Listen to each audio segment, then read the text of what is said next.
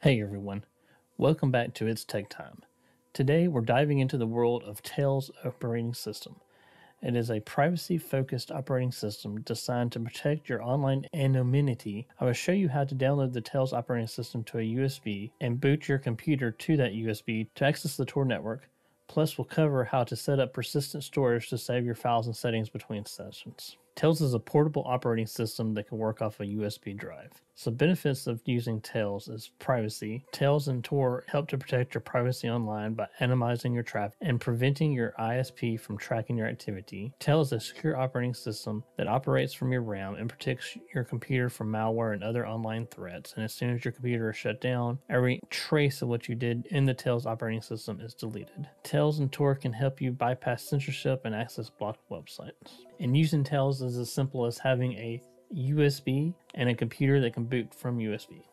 And I'm going to walk through those steps with you. First, we're going to download Tails from their official website. I'll put a link to their website in the video description down below. I'm going to be using Tails on a Windows operating system, so I'm going to click to download from Windows. And it will tell you the requirements from for Tails on this screen here. Like I said, you need a USB stick, and since I'm using Windows, I'm gonna need Windows 7 or later. And the computer I'm gonna use it on needs at least two gigabytes of RAM. So following the official steps, I'll download Tails. Once you finish downloading, you can verify your download and make sure it's safe and nothing is corrupted. Click select your download, go to the folder where you downloaded it at, click open. And it's going to verify that it's the correct image and that nothing's corrupted during the download. And when it's finished, you should see a verification successful and a green check mark.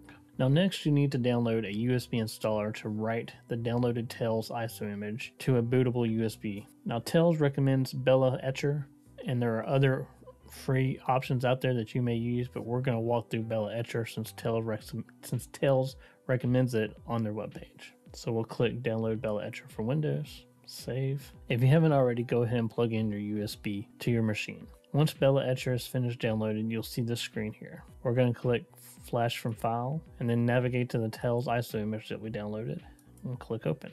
Next, we're going to click Select Target and then we're going to navigate to the USB drive that you that you should have plugged in at this time and we're going to click Select. Now it's as simple as clicking Flash. Etcher will now flash your USB drive with the Tails ISO image you selected, which should only take a few minutes. When it successfully is finished, you'll be met with a screen that says flash completed. And so now we will close this window. And I removed the USB and now I'm going to go get a secondary laptop that I have. And I'm going to boot that laptop to this USB to show you what it looks like. So I booted this, this Dell laptop to USB by pressing F12. Now I'll select the USB of Tails on it. So the first thing you'll see after booting to the USB with Tails on is this welcome to Tails message. And you can click start Tails and it instantly brings you up to connecting to Tor. And we're going to connect to Tor automatically and then click connect.